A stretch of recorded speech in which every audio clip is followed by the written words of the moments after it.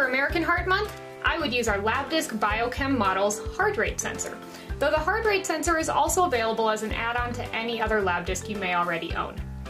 To use it, you simply place the sensor on your finger and start your experiment. It will then be able to generate a pulse waveform of your specific heartbeat.